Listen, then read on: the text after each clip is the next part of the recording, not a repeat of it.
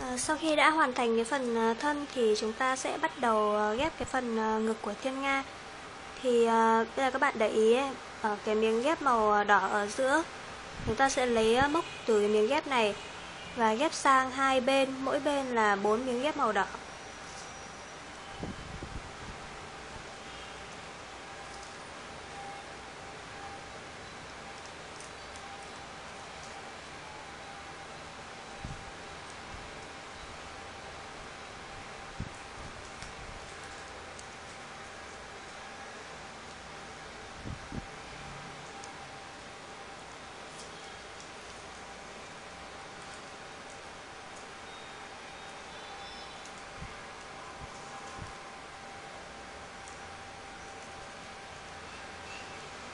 Và từ 8 cái miếng ghép này chúng ta sẽ ghép uh, giảm dần giảm dần lên để tạo thành cái hình uh, ngực của con thiên nga này nha.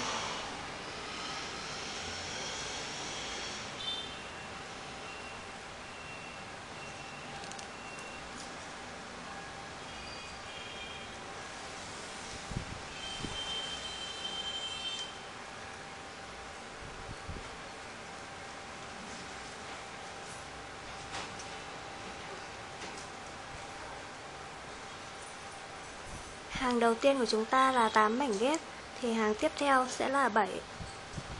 Và các bạn có thể giảm dần 7 6 5 4 3 2 1 nhé.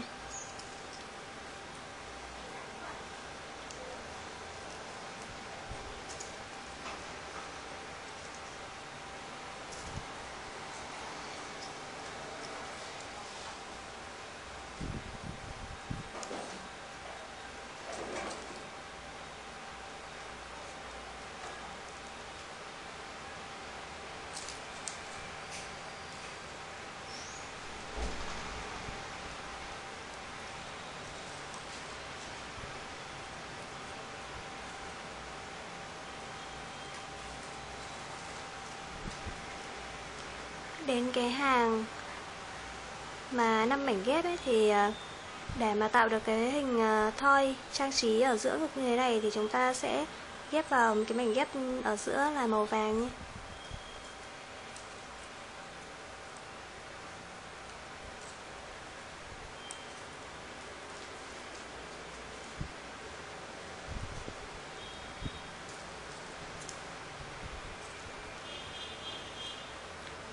Tiếp theo, lại làm hai mảnh ghép màu vàng ở giữa.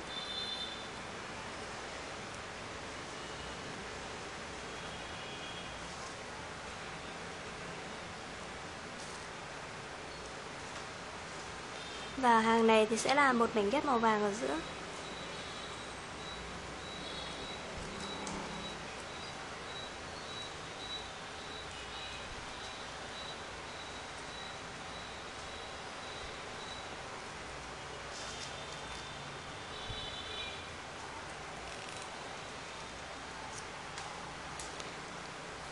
Ở cái hàng cuối cùng của chúng ta sẽ là một mảnh ghép. Chúng ta sẽ kết thúc cái phần ngực này.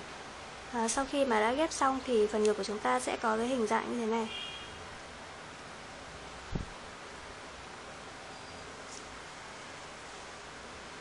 À, Tiếp theo để xác định được cái phần cánh và phần đuôi thì các bạn à, bắt đầu từ cái hàng à, à, bắt đầu từ cái um, gọi là cái miếng ghép thấp nhất của cái phần ờ, thân chúng ta sẽ đếm, bắt đầu từ từ cái phần ờ, ghép này sang hai bên mỗi bên là 7 miếng ghép, thì nó sẽ là cái phần đế của cái ờ, hai cánh hai bên nhé.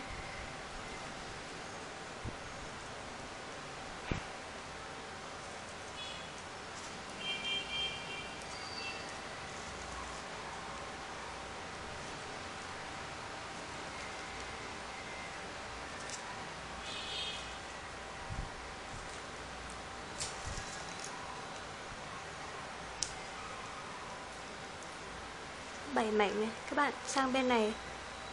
Cũng ghép 7 mảnh như vậy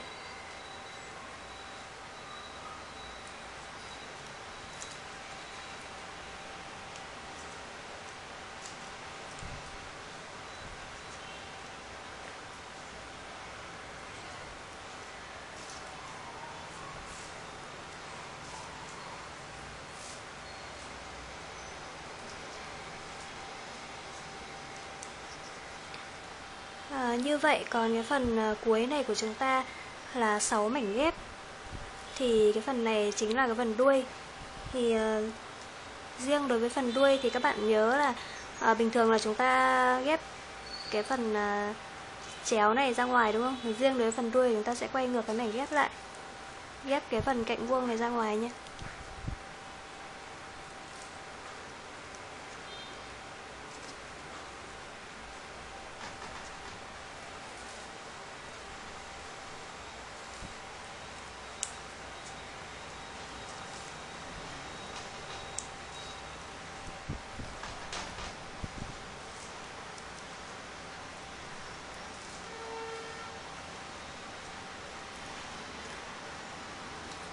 Ở cái phần đuôi thì chúng ta cũng sẽ tạo hình ờ, thoi trang trí như ở cái phần ngực.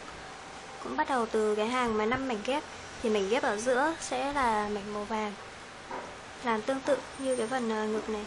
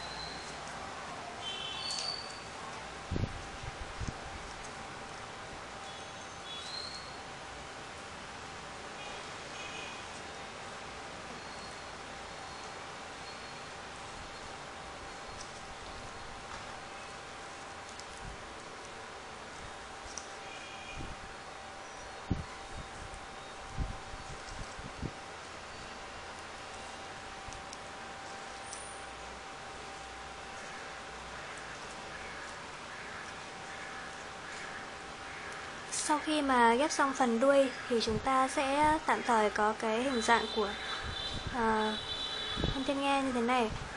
Um, Tiếp theo thì chúng ta sẽ ghép phần cánh. Thì các bạn uh, nhớ để ý đúng 7 cái mảnh ghép uh, cơ bản của phần cánh để chúng ta ghép cho nó chính xác nha. Thì uh, bắt đầu từ cái phần cánh này chúng ta sẽ ghép xen kẽ màu xen kẽ giữa màu đỏ và màu vàng. Cứ một mảnh ghép màu đỏ. Thì tiếp theo sẽ là màu vàng. Và liên tục như vậy.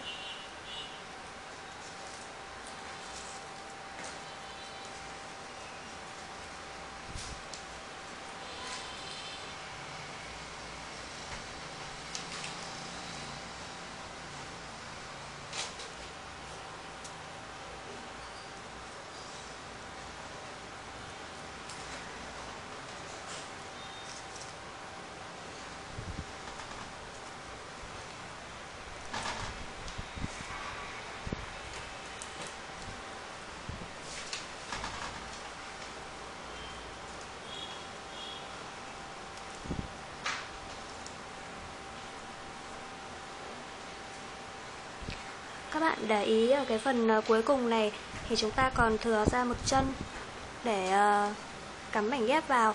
Thì riêng đối với cái chân cuối cùng này thì chúng ta sẽ cắm luôn vào cái phần ờ, lỗ bên ngoài của cái mảnh ghép cuối cùng nhé.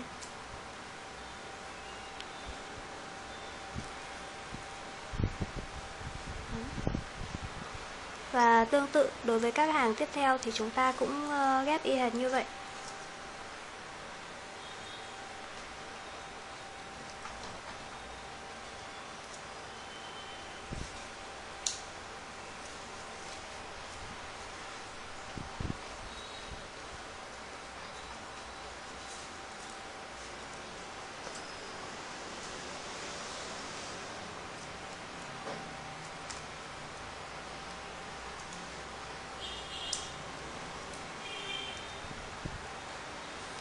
Ở đây chúng ta đã được uh, hai cái hàng màu vàng như thế này rồi thì tiếp theo chúng ta sẽ ghép thêm 10 hàng nữa. Y hệt như thế này ghép thêm 10 hàng nữa cao lên trên nha.